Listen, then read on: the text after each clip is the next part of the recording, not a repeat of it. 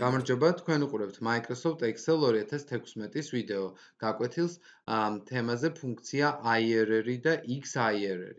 ეს გახლავთ ამოცანა, რომელიცშიც მოცემულია, ასე ვთქვათ, მიმდინარე დღეს პროექტში ჩადებული ინვესტიცია და მისგან მიღებული მოგებები. შემდგომი წლების მიხედვით და გთხოვენ რომ დავთვალოთ IRR.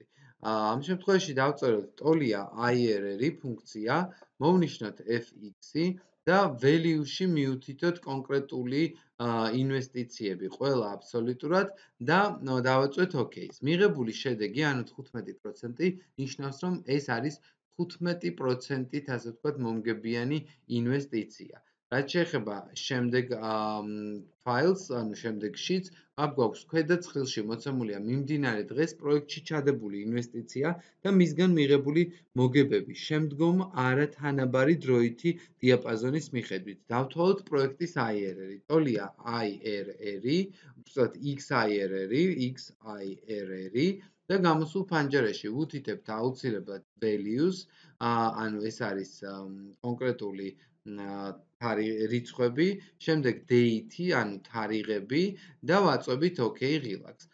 ამ შემთხვევაში ვხედავთ, რომ გვაქვს მონაცემი 0.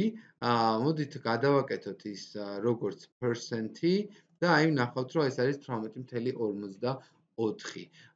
უნდა აღინიშნოს, რომ ამ ფუნქციაში არის კიდევ დამატებით ნაწილი guess-ი, რომელიც გამოიყენება იმ არასტანდარტული სიტუაციების დროს, ძირითადად აქ წერენ ხოლმე 10, 15, 20%, სადაც ნუ ლოგიკურად ინვესტიცია მერყეობს თუ რაღაცა განსაკუთრებული შემთხვევა და 800%-ის მომტანი ინვესტიცია არ არის.